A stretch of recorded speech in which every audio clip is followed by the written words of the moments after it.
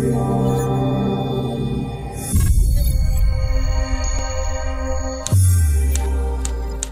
going on? This is Tuko with Musik ID TV, your home for BDB Music News. So, people, it is here.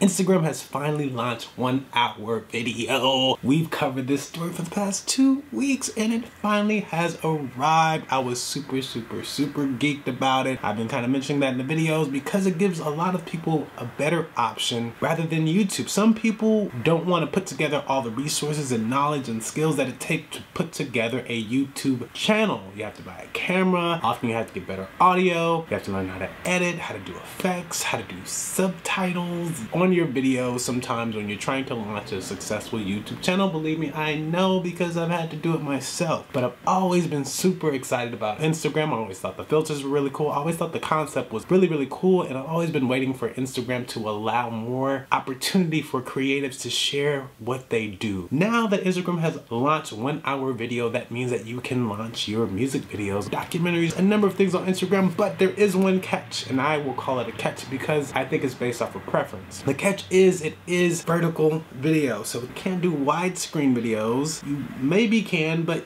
it'll ultimately turn into a vertical video. That's a slight drawback because you lose so much space on each side of the camera and you have to be hyper focused on the center to really get your subjects seen on Instagram TV. So the cool thing is maybe photographers and videographers are learning a new skill on how to keep the subject centered into all this so on and so forth, but that is something that is a bit of a compromise in my opinion. Beyond that, Instagram TV is now live. You can upload your videos. It's really easy to make a Instagram Instagram TV channel. All you do is sign on to the app. You can go on to it basically from getting the app in the App Store, or you can do it from Instagram on the main page. At the very top, some of you have already seen the upgrade. Maybe you haven't upgraded your app. If you have not, please upgrade your app so you can get into this because this can be an opportunity for you to kind of get in there and land grab, as a lot of entrepreneurs like to call it. Land grabbing means when something opens up, you go and you try and seize the market so you can be a pioneer in the market. So everybody go check out Instagram TV, IGTV, TV. It is here. It premiered on June 20th. I'm geeked about it. You will be seeing more episodes of Musik ID TV on IGTV. Believe you me, we'll be definitely utilizing the platform. So follow us on Instagram at Musik ID TV as well. Let us know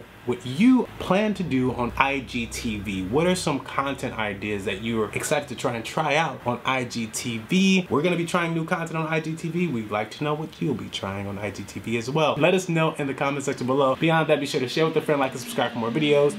Don't be afraid to hit the notification button so you can stay informed. We're currently posting four news videos per week. People join the sub club. Once again, my name is Tuko with Music IGTV, TV, your home for BDB Music News. Sign could all be so